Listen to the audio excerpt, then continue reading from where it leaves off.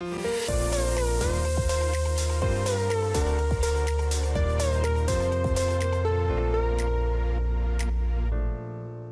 everyone, this is Sam Black with Drafting Archetypes, and today I'm going to be discussing uh, Green Black in Wilds of Eldraine.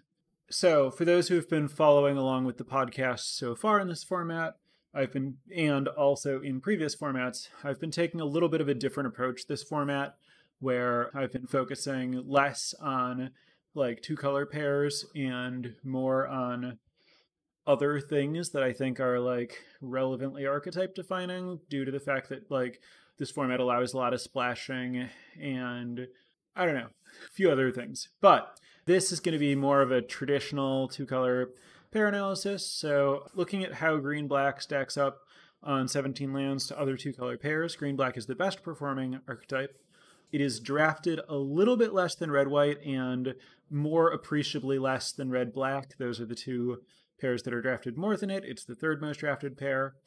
And I'm looking at green black um, not just because it's the winningest two color pair, but because I think that it's like a pretty coherent archetype that has a fairly reliable set of synergies that lead to a consistent game plan. Like green black really feels like, you know, it's an archetype in this uh, format. I think that it is largely a controlling deck in that it expects to have more power going long than most of its opponents and it can use food to like get out of range um, of aggro decks in long games, uh, thanks to the life gain. And then also because it's like making food and it's like pretty good at getting some other objects sometimes. Um, well, really, it has hopeless nightmare and and some rolls. It has a decent number of rolls. Those things all make it uh, pretty good at using bargain cards. We see that in the numbers with uh, Hamlet Glutton being the winningest green card in green black um, because you're just very good at being able to cast it for five mana. And, you know, when your plan is to kind of like stabilize and turn the corner with big creatures, it does exactly that. And then, you know, any other bargain cards you have that aren't that, great. Uh, you can you can support those pretty well. It's a late game green deck, therefore it can splash with that said, I think it splashes a little bit less aggressively than you might expect most late game green decks to splash, especially in a format where the fixing is so good. Partially, I think that like the fixing is a little bit more contested in this format because decks don't have to be base green in order to splash. So you're more likely to use your grottos and prisms and stuff like that in non-green decks so the green the green black deck might not like get a ton of free fixing late. Also, and kind of more importantly, I think that your synergies are pretty self-contained in green black. Uh, there aren't a lot of like cards that you'll need in other colors um, to make your to make your deck work. So you can get by just green black pretty easily.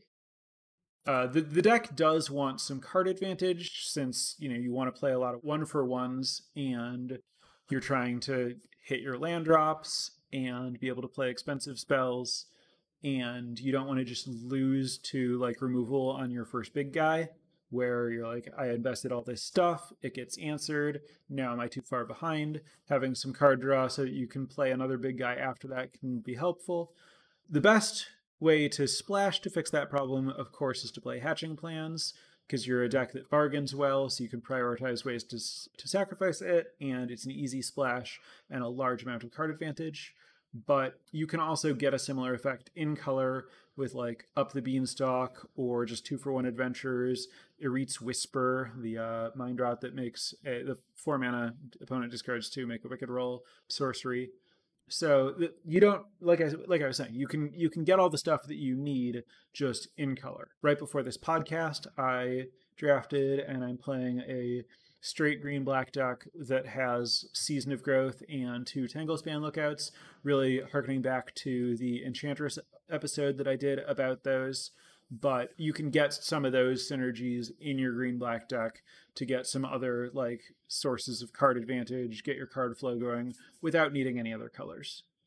So Shatter the Oath uh, stands out to me as an overperformer in this archetype, especially on 17 lands.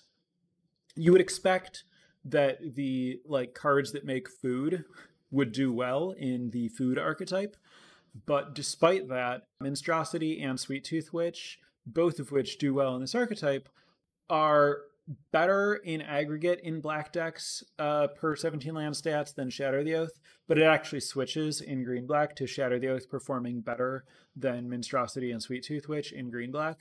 So uh, to me, that says that Shatter the Oath is playing really well in green black, and I, seeing that, have been prioritizing it a little more highly today and having some good experiences where it's not that hard to end up in a situation where your opponent and you and your opponent are both playing green and you both have like big things and shatter the oath is exactly what you need to kill theirs and attack with yours.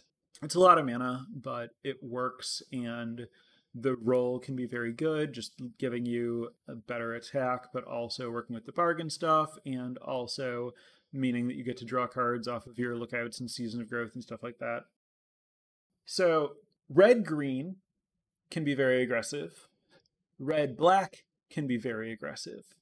So both black and green have like half of an aggressive deck. But I feel like you don't want to take the aggressive green cards from red green and the aggressive black cards from red black and try to put them together. I think that your deck is just going to be a lot worse if you prioritize like straight aggro than if you just do what green black naturally wants to do. I think that red is doing a lot of heavy lifting in both of those aggro decks, and the green and black cards can play like a decent support game to the red aggressive deck, but I don't think that there's like something there where you just try try to make that like aggro thing happen. I think you pretty consistently want to expect your deck to be following the normal script for green black where you care about you know making incidental objects getting a little bit of card advantage having your uh, efficient removal where you can find it and then like playing big things and overwhelming your opponent in the late game with your larger creatures.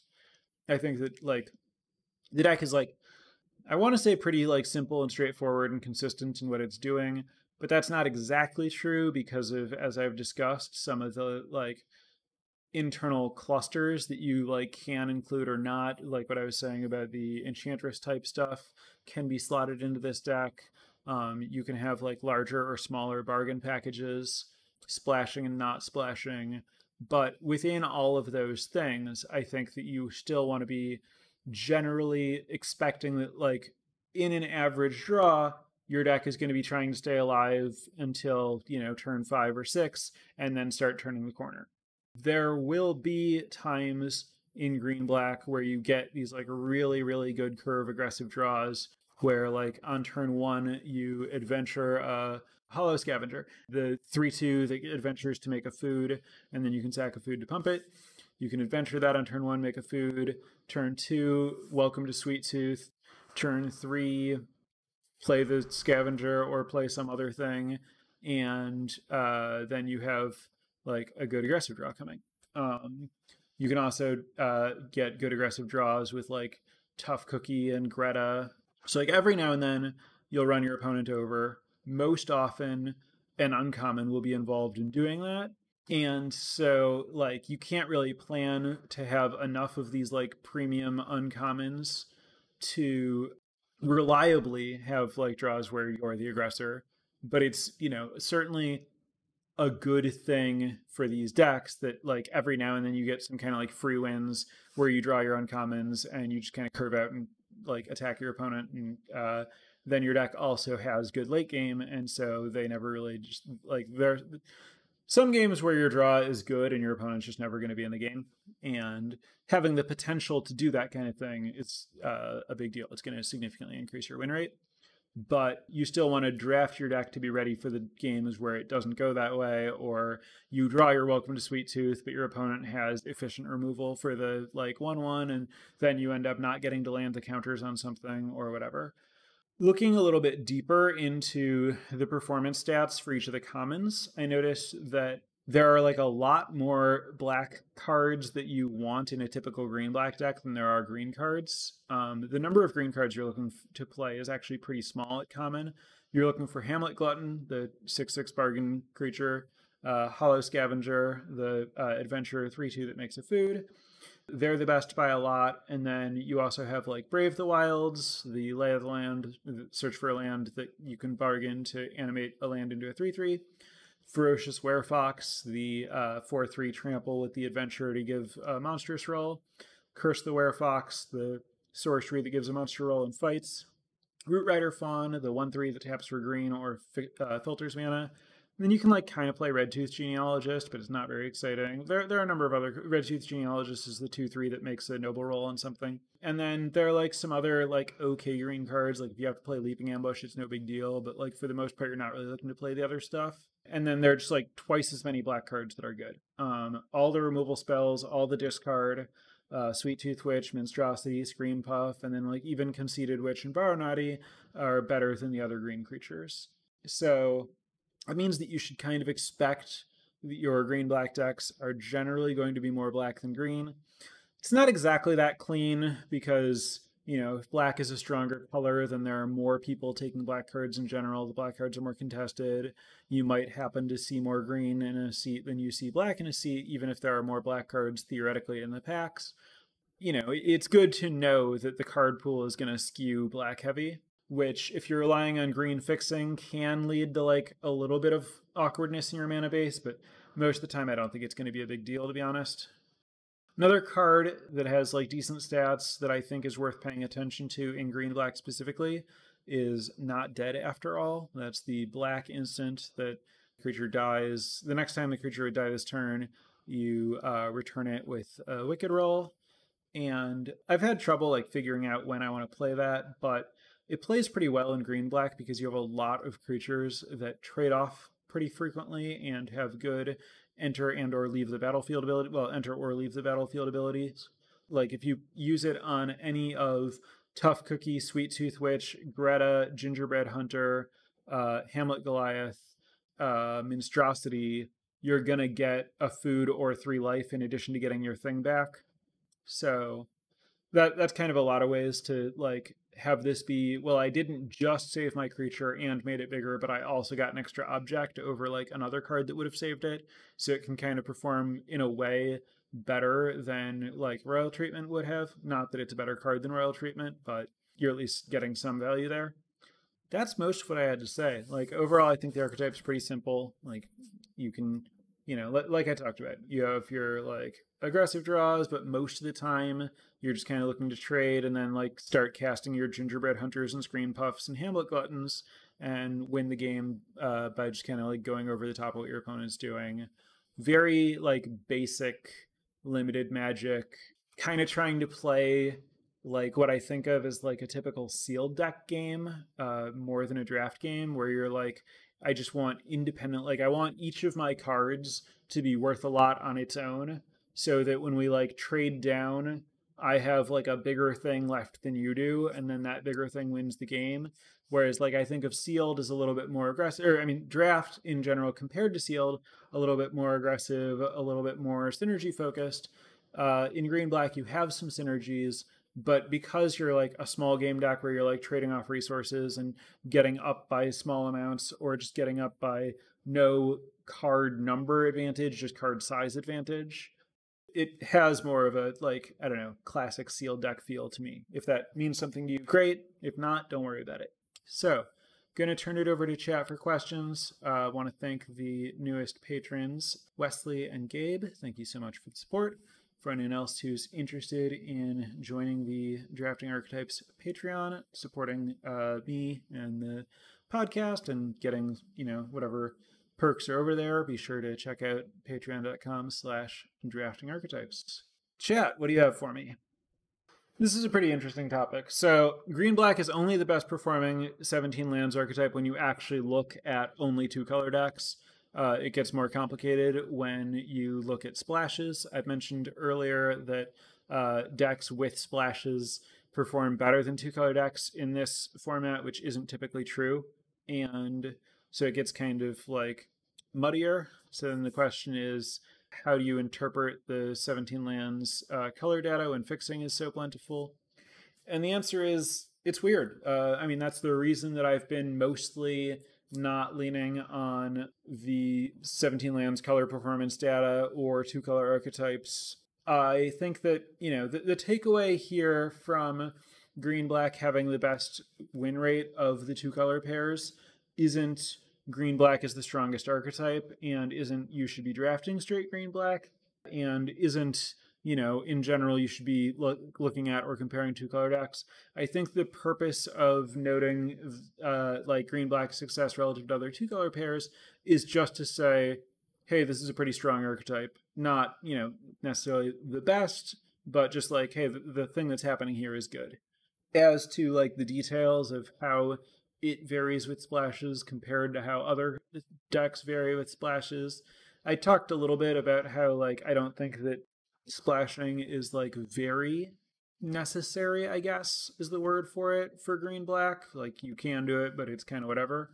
So that could contribute to it potentially like not splashing as well as other decks. But I, I think that, you know, the general, hey, this seems pretty complicated is basically where I land. Like, yeah, it is pretty complicated, and I'm not sure how much it's worth trying to like delve deep on the stats of exact color performance as a function of like splashing different colors in various color pairs and stuff like that. So much of that's just going to come down to like, oh, well, if you're like this color pair and you splash this color pair or this extra color, there's a good chance that it's because you have this busted card, right? Like if you're red black and you splash white, a lot of the time it's because you have Imodane's Recruiter. And then your red black deck with Imodane's Recruiter is going to do better than your red black decks that don't have it. And so the stats in your red black splash white deck is going to be weirdly high, even though like red black doesn't really want to splash. Um, as, as just a hypothetical example, I don't I don't know if the numbers support that or anything, but just to say that there's there are a lot of potential factors, and I don't think it's like super valuable to like try to unpack all of them from the numbers. I tend to do a lot worse in green black when I draft generically good cards versus being more synergy focused. Do you feel synergy is more important in this archetype than most? I don't know which kinds of synergies you've been like having success with or not personally. Like I talked about the kind of like clusters of things that can be good, like having the, you know, some like role synergies, role slash aura synergies, or having like more food synergies. I mean, I think that in general you're going to do better when you have more food synergies because I think that like the food cards are pretty good.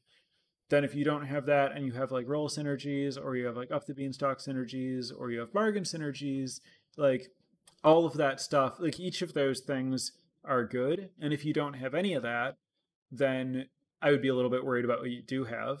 So, like in that way, I think that like synergies are important, but that's just about like if the sum of your parts is greater than the parts individually, it's going to be better just categorically. As far as how like that fact compares in green black to other things, I think because green black is a like small game attrition deck that has independently strong cards like the sealed deck phenomenon that I was talking about would lead me to believe that in general like synergy is going to be less important than like individual card quality but like given that a lot of the best individual cards also happen to be high synergy cards like welcome to sweettooth and greta it's a little bit hard to like disentangle those things. Yeah mostly i think that what's happening is when you don't have synergies you also have like lower overall card quality so it seems to me like this deck wouldn't be accurately conceived of as a cl- as classic control, but would uh, which um, but would still fall in the reactive uh, small game ends of the spectrum. Uh, thoughts on that and how to best finesse the line between potential beatdown and lo- uh, long game prospects? Yeah, I mean, so this isn't control the way that like you know a lot of blue decks are control. This is certainly the like big creature control the way that like you know it, it's in the like green black dinosaurs space right where you're like trying to not die early and then tor- turn the corner hard and have bigger like stuff than your opponent. And then like how you talk about that in terms of like whether you think of that as like control or mid-range is kind of whatever. To me the point is just like on average i think that you know you're going to benefit more from like the game going uh, like you're gonna start doing your good stuff on turn five. So like if the game's ending on turn like seven to nine, you're probably happier than you are if the game's ending on turn like six or like five to seven. And so in that way, I think that like, you know, you generally like don't want to be you'd rather not trade damage early and stuff, and you would rather trade cards early. But it's certainly, you know, it's not hard control. It's like big proactive, but where the reactive element is more important than the proactive element. Like it's more important to like not take damage early. Like it's not big proactive the way that like red green usually is, where you're like, okay, I hope I don't fall too far behind early, but I'm just going to start attacking immediately. This is more like I need to like stabilize, get the ground locked up, and then I can start attacking. Uh, you may have touched on this, but how does Night of Sweets Revenge fit in here? Night of the Sweets Revenge is a card that I believe in the potential of, but really needs you to be deep on food. You know, if you have like two or more food when you play it, it costs very little mana the turn that you play it, and then makes you a whole bunch of extra mana starting on the next turn. And it's also threatening to end the game really well with its ability, because then its ability is making all of your creatures a lot bigger, and it's giving you the mana to use its ability pretty cheaply. But if you only have like zero to one other foods when you cast it, then it's just a really bad card. So I think that it is not necessarily easy to expect. Like, if you take Night of the Sweets Revenge very early, some portion of the time you just won't see enough food makers for it to come together and you won't be able to play it even if you're trying to draft for it. But uh, if you are already in a place with some food, or if it's relatively low opportunity cost, like if there's just nothing else good in the pack, then you can take it early and it is high upside. Like if you have a bunch of other ways to make food, I don't I don't know the number 7 would be a place where I'd be pretty happy with it, but that doesn't mean don't play it on 5 or 6 ever. It's it's you know, it, it's both murky and not something I have a ton of experience with because I think that the opportunities that you have uh, to be in a deck that it works well are relatively rare. But if you do have a bunch of other ways to make food, I think it's uh, very strong, especially if you have good ways to take advantage of the extra mana that it generates you. Fell Horseman has pretty bad stats, but seems like a fine creature. Why do you think it performs so badly? I think it's pretty bad. It's an adventure that costs less than the body, but it's rare that you have a thing to get back before you want to play the body. So, like, the two mana adventure doesn't slot in well naturally. And if you want to use the adventure, you're not playing your four drop on turn four. And the four drop is like significantly understated. And because the format in general is good at giving you stuff to spend your mana on, like spending two mana to get an extra creature in your hand, but you had to like sequence your cards kind of weirdly and play like a bad rate card to like make it happen just like isn't very like it, there are better ways to like go up a card than that and there are a lot of them. The the 3 3 is just like pretty underwhelming by the time you can cast it and there are a lot of matchups where your creatures just like aren't going to go to the graveyard that much. Um, maybe they're getting cooped up maybe they're getting stop gapped maybe they're getting torched uh, maybe they're just not trading and yeah, so I, have generally been pretty disappointed when I've put Fell Horseman in a deck. How do you decide between Agatha's Champion and Gluttons when they're in the same pack? I'm never sure I'm making the right choice. I am also not sure that I'm making the right choice. I've been leaning toward Champion, but I might be totally wrong in doing that. That's that's basically my answer. I am more excited when I see a champion, but I I haven't like actually even compared the numbers on those cards, and maybe Glutton's just much better, and I'm very stupid. Does Rat Out fit in this deck? Yes. Uh, you're looking for efficient exchanges uh, that help you play your control game and you like bargain well. It's generally like not very hard to find a spot where rat out's gonna do something useful. The rat itself is gonna be like pretty medium for you, but it is uh, still an object for your bargain stuff or a place to put a roll or something. I don't think rat out's like a high priority for the deck, but it's uh, like a you know, very much a solid playable. Does Fell Horseman's value go up if you have Hamlet Glutton or Gruff Triplets or some other bomb to get back? Well, Hamlet Glutton and Gruff Triplets are very different things. But basically now, both of those are going to involve like waiting a long time to like maybe use your horseman. And in Hamlet Glutton's case, you're going to be able to just like play other comparable cards and just like cast another card instead. And in Gruff Triplets case, like once you've cashed the Gruff Triplets, like you're so likely to win regardless of getting it back that like playing a card that's like bad in your deck unless it's doing this thing is really unlikely to come up. Can you talk about your decision on number of lands and you have Brave and Sprawls?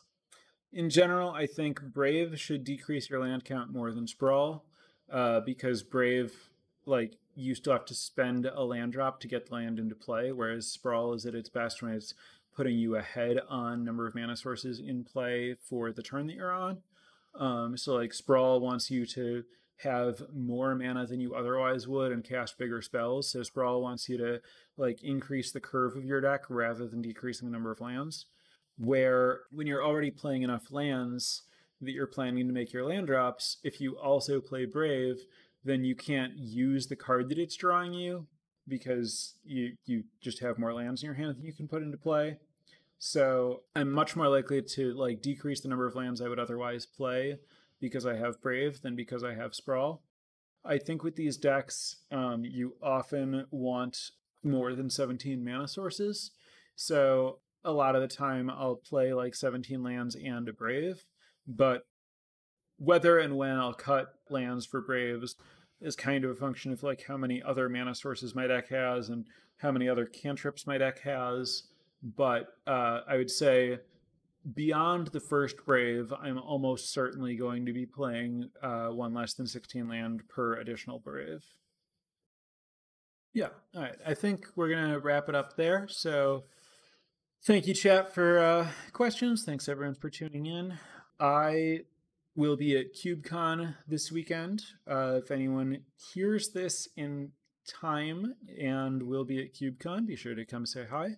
Also, if you're listening to this podcast and you just like listening to me talk about stuff, you should probably know that I was a guest on the Humans of Magic podcast earlier that came out um, a few days ago and it is not about limited, but it is about me talking about stuff mostly myself. So if you're interested in more background on uh, the person behind this podcast, then be sure to uh, search for Humans of Magic interview with Sam Black. And that's that's my news for now. So uh, have a good week, and I will see you next week. Bye, everyone. Prepare for light speed.